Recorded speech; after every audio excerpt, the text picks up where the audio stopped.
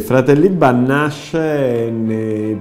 subito dopo la guerra, fondamentalmente dalla uh, volontà di quattro fratelli eh, che ricercano fondamentalmente nella loro professione un'attività spinti dalla mamma. Iniziano fondamentalmente un'attività di commercializzazione di pochi prodotti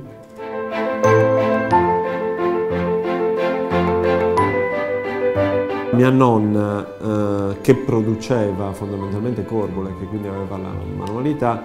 era il primo prodotto che dava ai figli da, eh, per cercare di vendere. Fondamentalmente questi partivano da Sassari, questi fratelli partivano da Sassari e scendevano verso il sud della Sardegna. Arrivavano nel sud Sardegna e scambiavano, vendevano fondamentalmente l'olio e questi prodotti prodotti nel loro paese con i cereali. Il giorno che erano andati a comprarsi il camion che eh, mia nonna era fortemente preoccupata per questo grandissimo investimento che facevano eh, e mi diceva siamo scesi col carro all'asino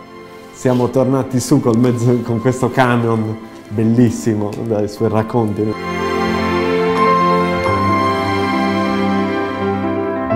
Fine anni 50 eh, decidono di stabilirsi qua su Oristano eh, semplicemente per un motivo, perché era al centro della Sardegna, quindi da un punto di vista logistico e per le attività e per il loro business, Oristano era la location giusta, la posizione giusta.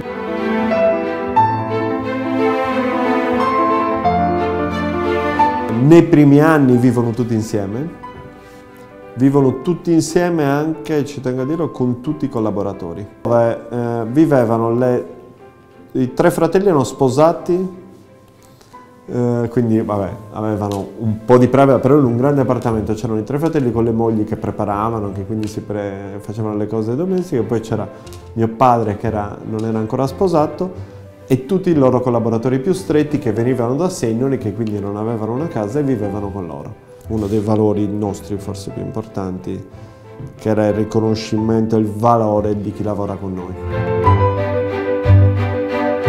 questa azienda arriva già ai primi anni 70 ad avere un fatturato che per il territorio dove operiamo, per la dimensione era di 20 miliardi circa, che era un fatturato negli anni 70 tutto sommato importante.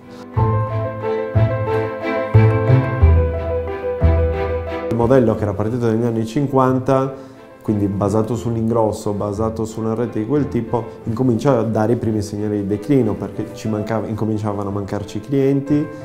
incominciava a esserci uno spostamento della distribuzione verso un altro modello. Purtroppo in questo momento anche all'interno della famiglia c'è qualche elemento di eh, relazione tra i fratelli che porta poi alla fuoriuscita di un fratello. Eh, esce fratello e rimangono fondamentalmente le tre famiglie.